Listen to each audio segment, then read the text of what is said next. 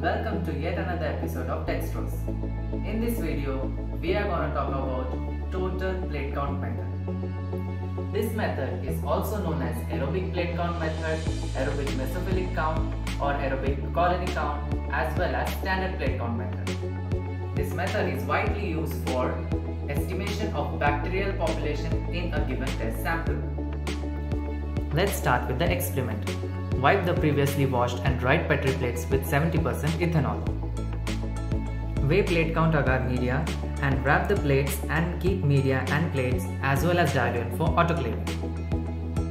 After autoclaving, keep the autoclave plates and diluent for UV treatment and maintain the media at 45 degrees Celsius in hot room. Labeling of tubes. Take the test sample which is 10 times diluted and label it as 10 raised to minus 1 and other diluent tubes 10 raised to minus 2, 10 raised to minus 3, 10 raised to minus 4 and 10 raised to minus 5. Serial dilution of test sample. Take test sample which is 10 times diluted and transfer 1 ml from it to the sterile 9 ml diluent. Similarly carry out serial dilution for the remaining tube. After the completion of serial dilution, vortex all the diluent tubes for proper mixing. Pour plate technique. Now label the plates from 10 raised to minus 1 to 10 raised to minus 5. We are going to perform duplicate sets.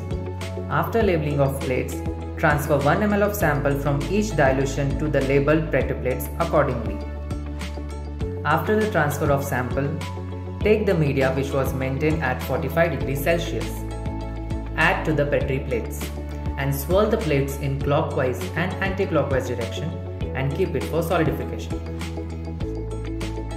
After solidification, invert the plates and incubate it at 37 degrees Celsius for 24 to 48 hours.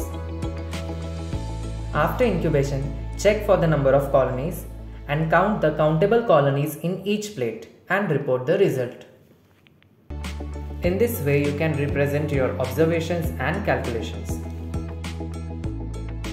Thanks for watching and do like, share, comment and subscribe to our YouTube channel that is Dextrose Technologies Private Limited and log on to www.dextrosetech.com.